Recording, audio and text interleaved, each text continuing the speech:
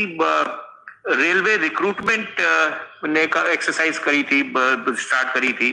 फिर बीच में कोविड आ गया हमने काफ़ी उस पर काम किया भी है। सिद्धार्थ जी का प्रश्न था उस पर और सिद्धार्थ जी आप हैं? हाँ सर मैं हूँ। प्लीज़ सर नमस्कार।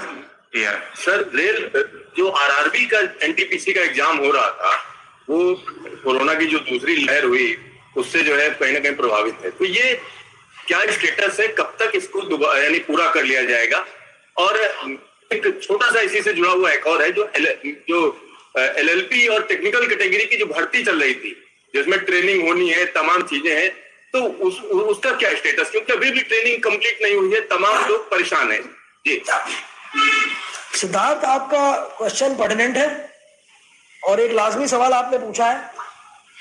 एज फार एज रेलवे में हम, अगर आप देखा जाए तो हमारे पास से जो हम लोगों ने अपने पोस्टों को भरने की प्रक्रिया शुरू की थी, इसमें कुछ एरियाज़ में, कुछ हमारे जो सेंट्रल एडवर्टिजमेंट्स निकले थे, उसके हिसाब से हम लोगों ने लास्ट ईयर ग्रुप डी की भर्ती की थी। एक लाख तैतालीस हज़ार वैकेंसी हमने भर दी थी, जिसमें चौसठ हज़ार वैकेंसी एएलपी और टेक्नीशियंस की थी। लेकिन आपकी बात ठीक थी, कई सारे इसमें एएलपी करीब पाँच हज़ार एएलपी अभी भी हैं। जिनको कि या तो वो ट्रेनिंग में है या वो अभी आ रहे हैं हमारे पास। क्योंकि जैसा कि आपको मालूम है, कई स्टेट्स में भी इस तरह के इंस्ट्रक्शन हैं हमारे पास कि ट्रेनिंग सेंटर्स अभी चालू नहीं है पूरी तरीके से। तो हम लोगों ने जहाँ जहाँ पे स्टेट गवर्नमेंट से बात करके उनकी परमिशन लेके स्टेट गवर्नमेंट्स में हमने ट्रेनिंग सेंटर्स को चालू कराया है और एएलपी की ट्रेनिंग कराई है।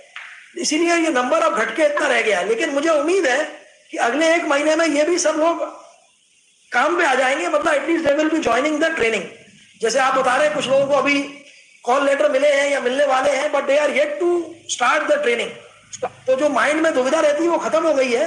They will most likely be joining training within a month और a month and half depending on ये जिस जगह पे स्टेट गवर्नमेंट्स की हम लोगों के ऊपर खास तौर से उन्होंने कह रखा है कि ट्रेनिंग को अभी आप ना शुरू करें।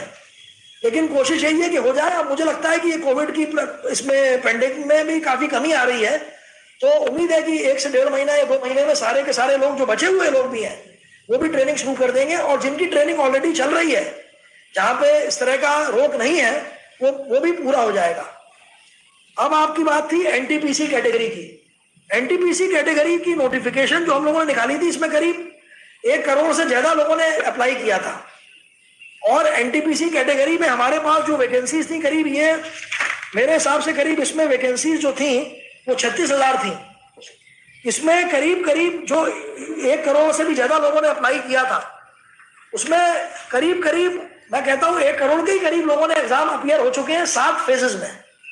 लास्ट का जो फ़ेज़ था, ये मई और जून वाला, ये अफेक्ट हो गया बिकॉज़ ऑफ़ दी कोविड जैसे कि आपको मालूम है एग्ज़ाम आप कॉमन लेते हैं जगह जगह पे, एक ही टाइम पे, एक ही दिन में। तो वो संभव नहीं है, क्योंकि जैसे आप, आपने सुना होगा, अभी सीबीएसई का एग्ज़ाम है या बाकी जगह एग्ज़ाम सब रुके हुए हैं। जैसे ही हमें क्लियरेंस मिलेगा तो हम ये जो बचे हुए लोग हैं, इनको भी हम बहुत जल्दी पूरा कर देंगे एग्ज़ाम इनका। तो ये बेसिक एग्ज़ाम इसलिए नहीं रुका है कि बेसिकली कोई और लिमिटेशन था। अगर होता तो हमने बाकी एग्ज़ाम भी नहीं किया होता। तो अगर एक करोड़ से ज़्यादा का हम एग्ज़ाम ले चुके हैं, ये इस बात का द्योतक है कि exam is held seriously people are appearing और मुझे उम्मीद है कि ये, जैसे ही ये पेंडेमिक का मामला खत्म होगा, क्योंकि हर एक गवर्नमेंट का अपना अलग अलग है। ये जो आप जो करवा रहे हैं, ये इसका नोडल आरआरबी चेन्नई है, जो इसको दिया गया है काम। तो वो सबसे पहले बात करते हैं आरआरबी से, स्टेट गवर्नमेंट से कि कहाँ कहाँ पे, जहाँ हमारे सेंटर्स हैं, वहाँ पे क्या व्यक्ति आ पाएँगे? हमारे पास इसके अलावा बहुत सारे रिक्वेस्ट कैंडिडेट के भी आते हैं आरआरबी में, कि अभी हम किसी भी पोजीशन में नहीं है आने के लिए। तो इन सबको नज़र रखते हुए हम ये भी देख रहे हैं कि एक प्रैक्टिकल तौर पर एग्ज़ाम कराएँ। क्योंकि ये आप भी समझेंगे कि कोई एग्ज़ाम आपने जल्दीबाजी में करा लिया और बाद में आपके पास रिप्रेजेंटेशन आ गए तो that is also be not be nice but I can want to assure you कि एग्ज़ाम होगा